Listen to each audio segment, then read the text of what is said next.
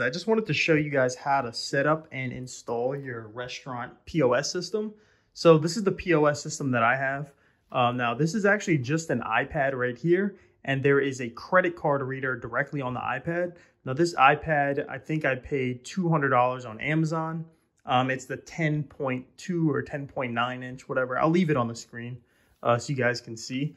And then it came with this credit card reader. Now this credit card reader actually just connects directly into the iPad itself. So I can go ahead, I can swipe, I can dip if there's an EMV chip, or I can actually tap to pay if my customer has a smartphone. And I'll show you guys a, a little demo here in a second. This is actually a kitchen printer that is connected by Bluetooth to the iPad. And then this kitchen printer also connects by that white wire right there. Um, it connects to the cash drawer. Now it also has a customer facing display. Now that customer facing display actually shows my customer exactly what it is they they ordered as well as the price. And I'll walk over on that side in a second and I'll show you guys that as well. And then there's also, instead of a kitchen printer, uh, I opted in for the kitchen display. So that way my chefs, they know exactly when an order comes in. And so for example, if an order comes in, um, say this order right here for the garlic parmesan fries and this uh, two chili chicken, uh, as my chefs are preparing the order, they can actually go ahead and cross it off right there. And then when the order actually goes out to the customer, all they do is they double tap it and it disappears and it's ready for that next order. Now, I think overall, this entire setup, this was about 50 bucks from Best Buy. This was 50 bucks this was actually a little more expensive than I thought. This is about $300, but it's a super reliable printer. Uh, the iPad itself, 200 bucks. This was another 200 bucks, and then this iPad right here. Um, this is the more expensive iPad, but I'm just using it just because that's what I had. But you can actually use this one right here. Um, so that's another $200 as well. Now, basically what happens is when a customer comes into the store and the customer wants to place an order with us, um, we're actually going to live right in here in this section. So it depends on what kind of business you have. Now, for the business that we have set up, we have indoor tables, we have a bar area, we have takeout, we have quick order, and we also have delivery. So it depends, you know, what employee is taking which order. Depends on what tab you're actually going to hit in here. So say, for example, we have a quick order. So somebody walks into our store, and they would actually want to place an order to go. So we're going to hit on quick order, then we're going to hit the plus button, and then this is our menu. Now this menu is customizable. You can either set it up yourself or the company that I got this from, they will actually build out your entire menu with pictures and everything and that costs about 300 bucks. So say our customer comes in, they want these veggie spring rolls. They also want a burger. Say they want a barbecue burger and you can actually customize all of these different sides. So you can have fries, truffle fries, side salad, sweet potato fries. You can make any sort of little combination that you want. Um, so say our customer does not want fries, but our customer instead wants a side salad. Now we have to go ahead and select our meat temperature and you can do medium well rare, medium rare, medium, or well done. And right now it's charged at $0, but if you wanted to actually charge extra, depending on, you know, how well it's cooked, you can do that as well. We're not going to mess with that here. Um, for allergies, you can include all the allergies that you want. And this is super important because you don't want a customer coming in and getting the wrong order. For example, if they have a peanut allergy and then they're going to get sent to the hospital and you don't want to deal with any of those lawsuits. Um, so this is included here just as a safety purpose. Our customer has a peanut allergy and then toppings for our burger. So say tomatoes, avocado, cheese. And depending on the type of cheese, you can also add that as well. So Swiss, pepper jack, cheddar. Um, and say they want mayo and lettuce. Go ahead and click on done. So that is our customer's order right here. Now what's going to happen is our customer actually has to go ahead and review that order. So we're going to walk over here and this is our customer's order right here. All right, so our customer got the veggie spring rolls, the barbecue burger, and then they also have all these different toppings. So tomatoes, mayo, they wanted medium rare, etc., etc. And then here on the bottom, this is cool because there's actually a cash price and there's a card price.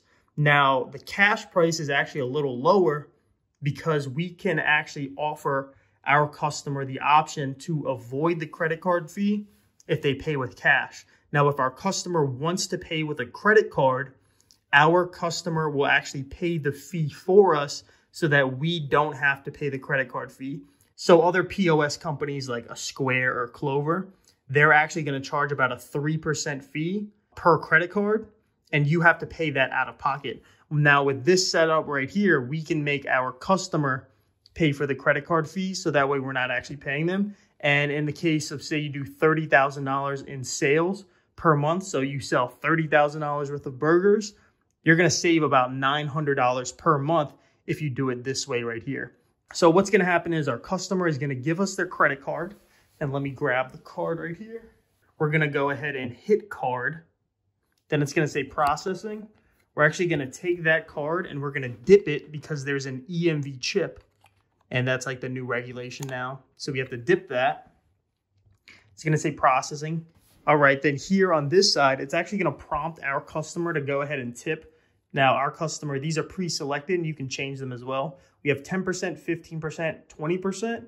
You can custom tip or no tip. Now, this is cool because this is going to give our employees the option to make more money by collecting tips this way instead of people, you know, having to print out the receipt and then manually writing tips. All they have to do is hit a button, go ahead and sign, and then click on done signing. Okay, and then now our receipt is to print out here. And then another cool thing is because we don't have the kitchen printer, what's to happen is we have a kitchen display as well. Um, so once the order is paid for, um, it's actually to get sent to our kitchen so that our kitchen staff knows exactly when to prepare an order and what to prepare. Um, so as you can see, this order right here was a quick order. It's already been paid for. And then he has the veggie spring rolls. He has the barbecue burger with the side salad, medium rare, peanut allergy, tomatoes, and avocado. So this way our staff knows exactly how to prepare an order. Uh, as each item gets ready, all we have to do is cross out each one. And once the entire order is complete and ready to be served to our customer, all the kitchen staff has to do is double tap and then the order is going to disappear. And then all the other orders are going to be, you know, next in line. So if we look down at our receipt here, um, this is obviously our customer's order. And then if you can look all the way down, it says non-cash adjustment of 81 cents. And basically what this is, is the credit card fee that our customer paid. So that way you as the business owner are not paying that credit card fee out of pocket. Um, and th that's how you're going to save a lot of money every month by passing that credit card processing fee to your customer. So what happens if we process a cash order? instead. So say for example, we barbecue burger, meat temperature, medium rare, allergies, same thing, peanut allergy, toppings, avocado, cheese, lettuce, mayo, same exact thing as our last order. And then instead, uh, also, I forgot, they got veggie spring rolls. So instead, we're going to click on cash, and then we'll just do the customer copy. Then our cash drawer is going to open automatically so that way we can give our customer the change. And then this is going to be our receipt right here. And just a, as a side-by-side -side comparison here, same exact order, but you as a business owner are keeping $20.27 and then the 81 cents is actually going to the processing company. So in both examples, you're keeping $20.27, no matter if it's the cash or the card. And if you actually got a second POS, so an extra iPad and a credit card reader, this can actually act as a self-ordering kiosk. So your customers can walk into your store and place the order themselves. Um, and all they have to do is just come up to this machine. Your logo is going to be right here. They can either enter their phone number or they can join. Um, in this case, we're just going to go as a guest and your entire menu is going to pop up right here. So your customer can place the order themselves and they're not going to waste your employees time sitting around, you know, deciding on what they want to eat. Um, so say our customer wants a salad, they want a taco salad. So they're going to add that. And then they want a Caesar dressing. They also want chicken. And they also have a peanut allergy. And then they're just going to add that to their cart. They're going to go ahead and check out.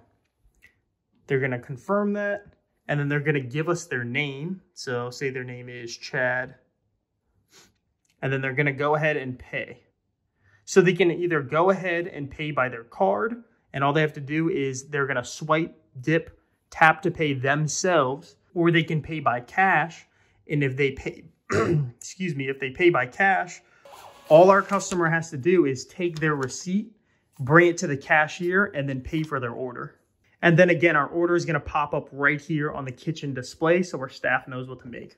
If you guys want this entire setup for your business, go ahead and click on the link down in the description below. I'm going to have a link there where you can fill out a form and then someone from our sales team is actually going to hop on the phone with you. You can ask them all the questions that you want and it's going to be free of charge and you can see if this is a good fit for your business or not and then you can go ahead and continue and make the purchase to buy this. So I'll see you guys in the next video. Peace.